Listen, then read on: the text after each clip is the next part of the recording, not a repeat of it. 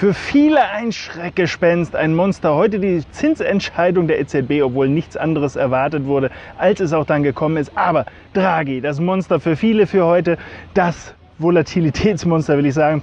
Wer genau hinguckt, der stellt fest, der Kollege hier, der ist nur aus Pappe. Das ist nicht Draghi. Für diejenigen, die jetzt nicht ganz sicher waren, nein, das ist nur symbolisch gemeint. Draghi heute mit seiner Aussage, ähm, naja, ein bisschen Bewegung gab es. Der Kurs schoss mal beim Euro gegen US-Dollar hier um 50 Pips nach oben.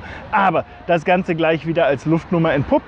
Halt doch nur ein Papptiger oder ein Papp-T-Rex, wie man es auch immer sagen will. Also insofern keine große Gefahr von dieser Seite. Der Markt nicht wirklich bewegt. Insgesamt allerdings, wenn man sich das Währungspaar mal anguckt, durchaus nicht unattraktiv die Situation dort, nämlich die Schübe sind immer noch nach unten und das, was wir dort an Bewegung nach oben gesehen haben, das war dann doch noch relativ korrektiv. Achten Sie mal darauf, die Bewegung ist eigentlich, was das angeht, sehr, sehr angenehm. Also Schübe nach unten, wackelig nach oben. Das lässt vermuten, dass wir die 1,10 noch mal deutlich nach unten verlassen. Ob das wirklich passiert, das sollte natürlich der Markt dann auch erstmal beweisen, indem er mal ein letztes Zwischentief bricht. Ich gehe aber davon aus, dass die Bewegung, die sich dann anschließt, die besten Chancen hat, dynamisch sich nach unten zu entwickeln. Also nicht so unattraktiv, was wir von dort sehen. Langweiliger war es dagegen, fast so bewegungslos wie das, was wir hier haben. Im Moment bei den amerikanischen Indizes, sowohl der S&P 500 als auch der Dow nicht wirklich von Bewegung geprägt. Ein bisschen wackelt es mal hoch, es wackelt mal runter, aber nicht wirklich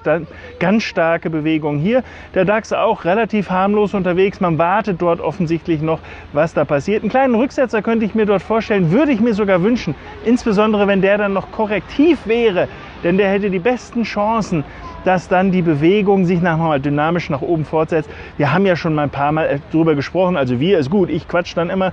Ähm, dass der amerikanische Markt gute Chancen hat, noch mal einmal nach oben auszubrechen. Da sehe ich zumindest mal die Bewegungsdynamik auch jetzt noch hinlaufen. So, also viel mehr gibt es nicht zu berichten. Die Daten von heute, die sind auch vom Tisch, also da kommen keine Informationen mehr äh, rein. Morgen natürlich Freitag kommt noch mal ein bisschen was. Also da ist durchaus noch ein bisschen Restspannung diese Woche da.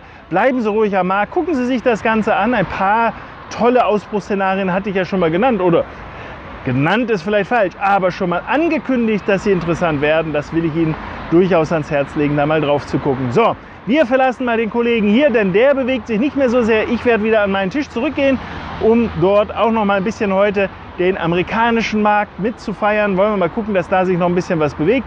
Wünschen wir uns allen einen erfolgreichen Tag. Wir sehen uns dann am Morgen wieder. Bis dahin alles Gute.